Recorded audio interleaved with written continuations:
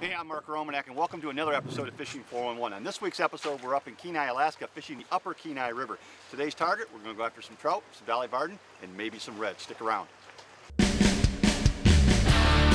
Fishing 411 is brought to you by Offshore Tackle, your leader in trolling technology.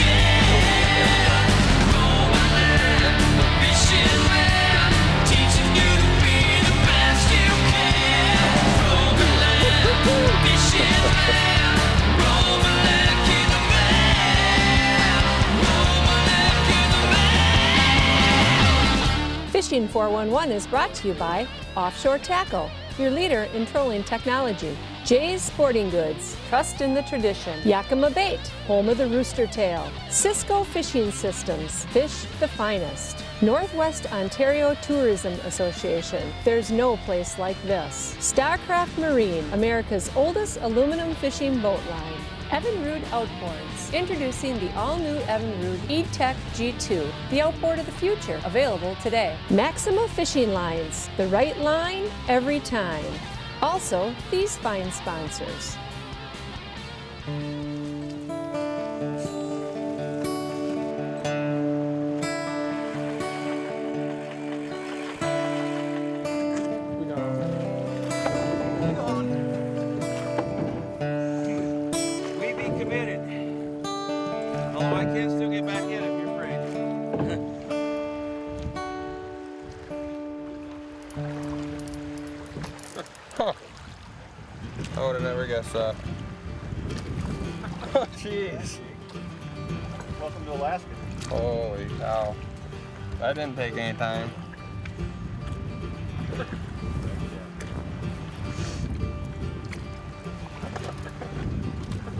Gee.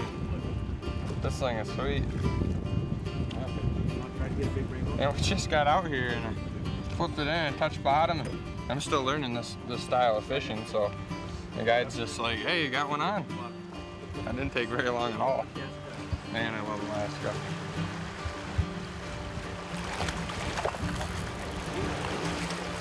Nice. Look at that.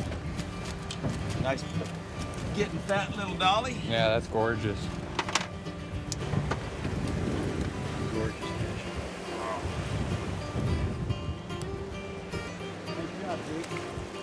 Overwhelmingly, what we're finding amongst the drift boat captains up here on the Kenai River is they love bead fishing. And bead fishing, you can do it a variety of ways. You can do it with spinning tackle like we're doing today, or you can do it with a fly tackle. And what it is, is the bead is essentially replicating a live egg, drifting downstream, the salmon spawn, the trout come up and eat those eggs. It's just that simple. That bead is food, and these fish literally gobble these things down. It's amazing how well that simple bead works at catching trout. That's Definitely a bigger dolly than I've caught before. Caught a couple on this trip, but nothing quite like this one. This is a nice looking fish right here. Fun stuff. Bucket list stuff. Those- Now you just need to get a bucket fish. You get a big rainbow, I'll fill that bottom bucket full of water. Bucket.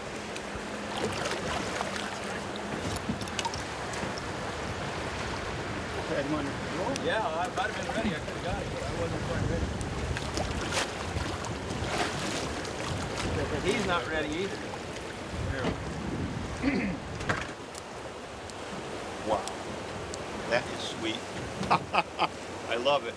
I absolutely love it. Now, Mr. Dolly. There's some very stark differences in the Kenai from the lower end of the river to the upper end of the river.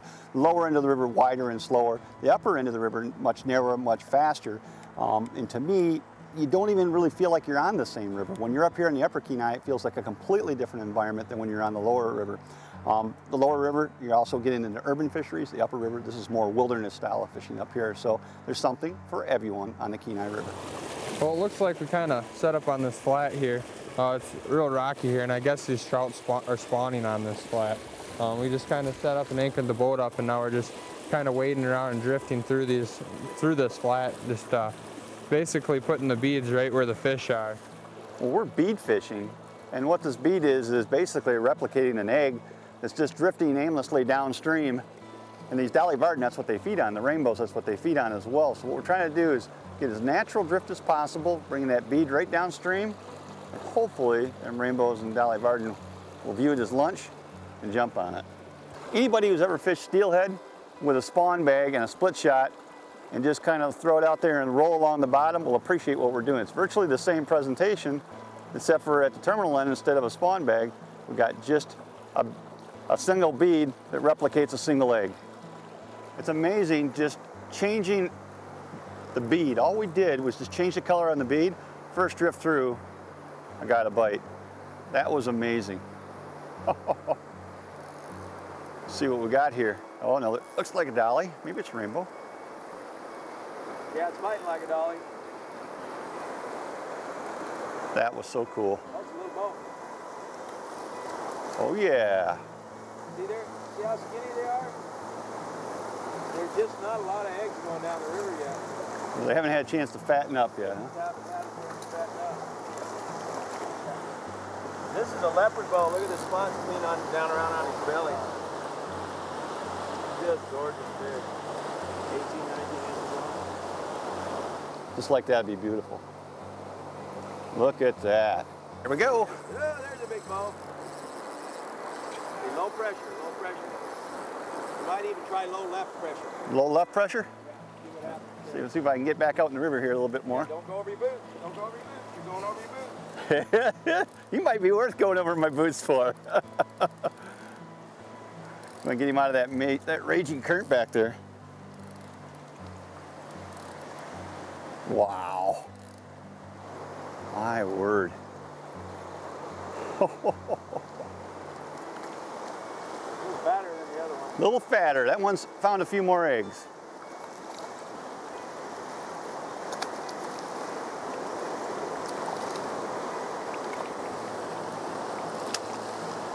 Goes. You know what amazes me is I sat up in here, Dennis got set up, and I threw maybe 10, maybe 12, maybe 15 passes through here with never a take. And then all we did was change the bead color. First drift through, boom, fish. Second drift through, boom, fish. So the question is, does color matter in trout fishing? Oh, apparently it matters big time. And if you're not willing to accept that and make those changes, you could be struggling on certain days. So what's the moral of the story? Lots of beads, lots of colors. Play around with those colors until you find out what's working. Additional considerations provided by Argo Amphibious ATV Extreme Terrain Vehicle Solutions. Additional considerations provided by Ontario's Algoma Country, That Real. And we got a nice one on here. Try to get him up on the bank if we can.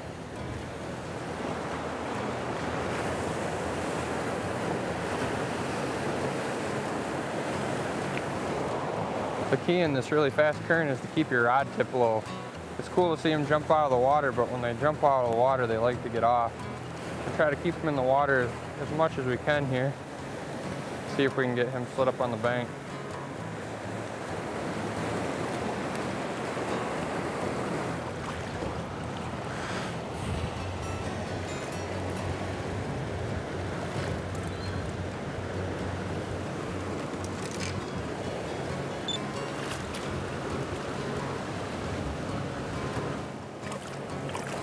Go, get that girl back in the water. Man, that was fun. This is really a new style of fishing for me. There's a lot to this. You know, every time it seems like I'm actually getting a good drift or getting a bite. So this shows how many fish are actually in this river. Well, basically, we're doing a variety of different stuff here. We're doing some fishing out of the drift boat, which is really cool, and then occasionally we'll pull the drift boat in, jump on shore, and there's places that you can fish from shore. Where I'm standing right here, I can see these sockeye salmon spawning right out in front of me, and uh, the Dolly Varden and the rainbows here. Ooh, it's exciting. Every time you go around the bend, it's like a whole new day, starting all over again. I love it, just love it.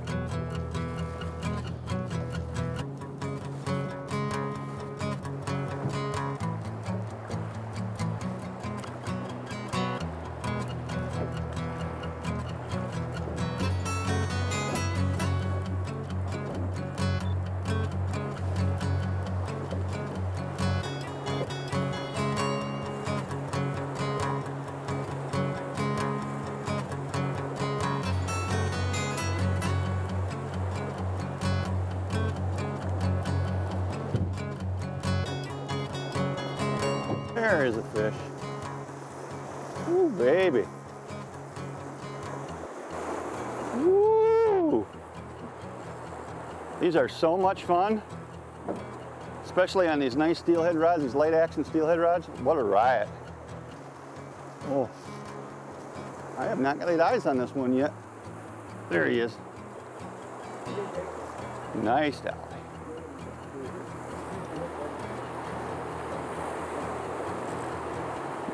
Ooh.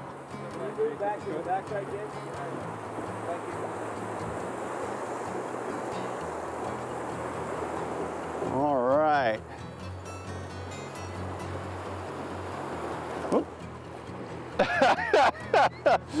It happened almost like we planned it that way. I'd like to say it planned it that way. Gorgeous. Absolutely gorgeous. All right, we'll catch you another time. If you're going to come up here and you're going to roll beads, you're going to want to have some high quality tackles. Certainly you're going to have some graphite rods. What I'm running here is an Okuma T40X. They designed them specially for steelhead fishing. I've got a medium light nine and a half footer here is what I've basically got in my hand. I got an RTX reel um, and I've got eight pound, uh, excuse me, eight pound test Maxima monofilament on here. This is a pretty good setup for what we're doing. You're going to catch small fish all the way up to five pounds or larger, so you're going to need a rod capable of handling the bigger fish in the strong current. And I think this rod is a, is a pretty good compromise for what we're doing right now. Additional considerations provided by Lowrance Electronics. Find, navigate, dominate. Fishing 411 is also brought to you by Okuma, High Performance, and Mustang Survival. We save lives for a living.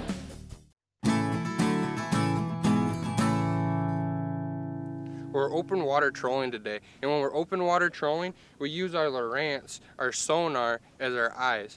Picture a bass fisherman in the springtime, when they can see the fish, they're using their eyes to see the fish and they're casting to that fish. Out here in open water, we're using our sonar. If we're not marking fish, we're not fishing here. So we're gonna move on until we find the fish that we want, and those are the fish that we're gonna set up on. The scenery here in the Upper Kenai is absolutely breathtaking. It's stellar. You look around and you get this beautiful water. You got these cascading hillsides that go right up to mountains. Um, today we happen to have a partly cloudy day, so we've got some of the hill hilltops are being covered by uh, by clouds and stuff, but it's still just absolutely gorgeous. Just the view is worth the price of admission here. One of the things that we're learning about the Kenai River is it's a multifaceted river. In the lower part of the river, you know, it's not it's sluggish, not quite as much current. Different styles of fishing down there. Uh, folks are doing things like plug pulling and that type of stuff. The further you go upstream, the more it gets narrow and faster. And this water up here is primarily trout water, um, and we're seeing techniques like bead fishing. And, uh, and, that's exactly what we've been doing here on this on this show is bead fishing for beautiful rainbows and beautiful dolly varden. All right, haven't caught very many dollies today. It's been mostly rainbows. Getting a good rod bend on this puppy. They are strong. I can bring her over here for you. Oh, there we go. There we go. Miss Dolly. Pretty fish. Our guide on this adventure is Dennis Randa, and I would highly recommend that you're using a guide on all of these trips. We've done several since we've been in Alaska, and frankly, I don't know how a guy could come up here cold turkey and expect to catch fish. You really need the expertise of the local guides. Um, and in this case, you absolutely have to work with a guide because this water is set up so that commercial charters are only allowed for certain guides to, to fish up here. Um, and that's exactly what's going on for us today. So um, the way to check all that out is to go through an outfitter like what we did. Salmon Catcher Lodge will hook you up on the right guides so that you're in the right stretches of the river, doing the right things at the right time of year. That is a, that is, ooh, that's a big dog. That is a beauty. Wow, that's a nice fish. You want to get the bucket ready? Uh, I will indeed. little lift? Didn't want No, that. no, no, no. He's not quite ready on that, is he?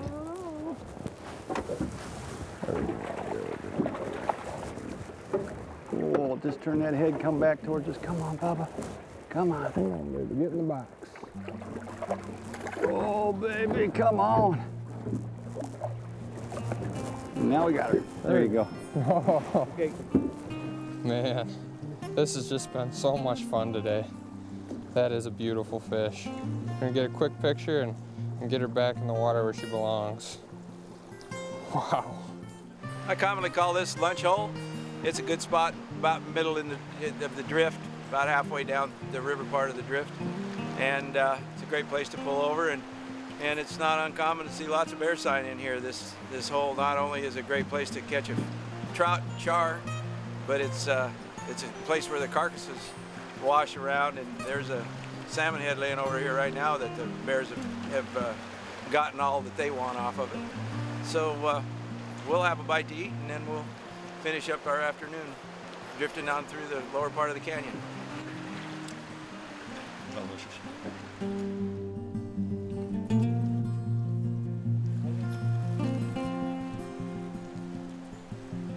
That's a fish right there.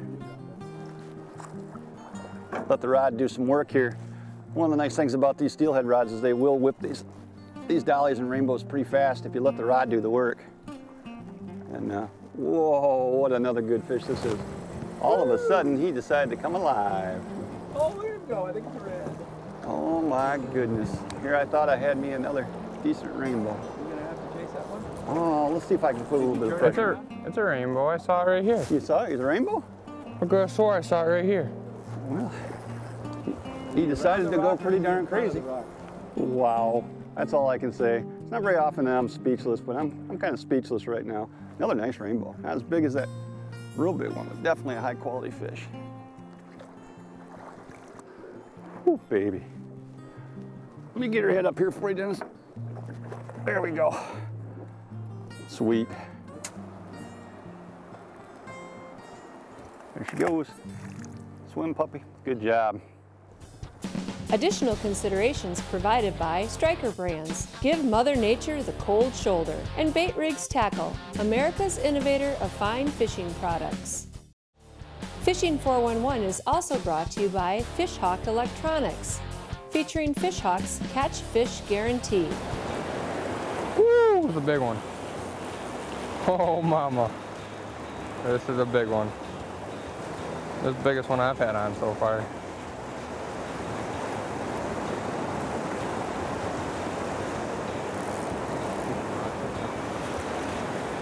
Just hooked that fish and one of the mo most important things here is to keep that rod tip low to the water. These trout are going to want to be jumping all the time.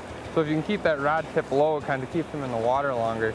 Got a better chance of landing these fish. Put your rod tip up, it forces that fish out of the water and uh, off, off the hook. So this is, seems like a pretty nice fish here. What we're doing is we're actually pulling these fish up the current after we hook them. So they're really pulling super hard and they're using that current to their advantage.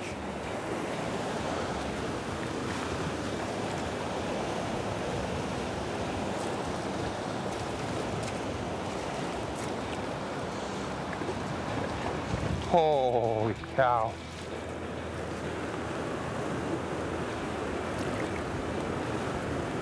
That might be the prettiest fish I've ever caught. Oh my goodness.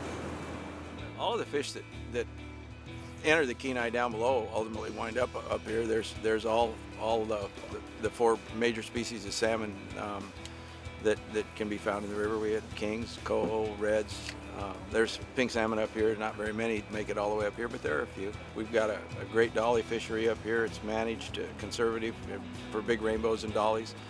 Um, to catch and release, you can keep a small fish to eat, uh, one per day under 16, and uh, it, it's it's just maintained a, a healthy quality of, of, of experience, and, and like some of the rainbows we've seen and, and some of the dollies we've seen today, there's there's a lot of good, nice, healthy fish swimming around up here. There's a good look at him right there.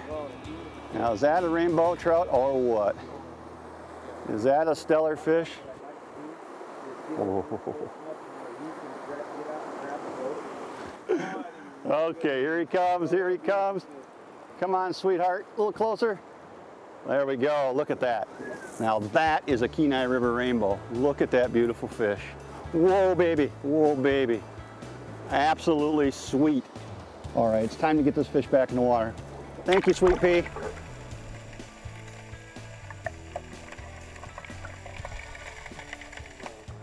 We have had an incredible day here on the river today. I don't know how anybody could ask for more than this. Absolutely incredible. Fish pound in action. This one Just absolutely pumping. Oh, I'm telling you what. Let's see if we can't see if we can't get this one to cooperate. Oh, come on, baby.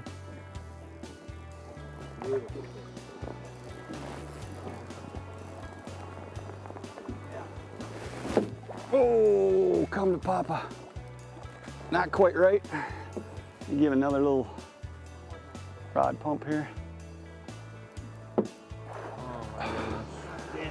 Thank you, Now you're, Je- getting up, now you're getting up to where I want pictures. Thank you, Jesus. Now you're getting up to where I want pictures. Now that, my friends, is a Dolly Varden. Absolutely gorgeous. you know, they're members of the char family, so they look a little bit like a brook trout. And uh, they're related, of course, to the other chars, like lake trout. Look at that hook jaw on that. That thing is gorgeous. Caught lots of fish in my life. They don't all make my heart pump, but this one made it pump big time. Wow. I'm gonna stand up here.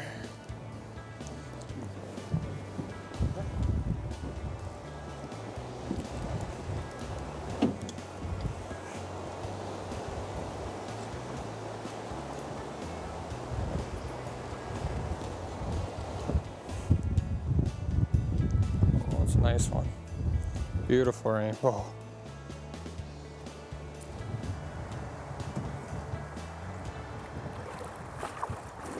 Woo, He baby. didn't like that. The rubber catapult net. There we go. Look at that. There nice fish, Jake. I'm Jake Romanack. And I'm Mark Romanack, and you've been watching Fishing 411. I hope you had a good time this week up here in the Kenai River fishing for beautiful fish like this rainbow. Get a chance, check out Salmon Catcher Live. You'll be glad you did. Closed captioning is provided by Orca Coolers, built for everyday use and total abuse. Fishing 411 is brought to you by Offshore Tackle, your leader in trolling technology. Jay's Sporting Goods, trust in the tradition. Yakima Bait, home of the rooster tail. Cisco Fishing Systems, fish the finest. Northwest Ontario Tourism Association, there's no place like this. Starcraft Marine, America's oldest aluminum fishing boat line. Evinrude Outboards, introducing the all-new Evinrude E-Tech G2, the outboard of the future, available today. Maxima Fishing Lines, the right line every time. The key to being safe in the Alaska bush. Always wear a life jacket.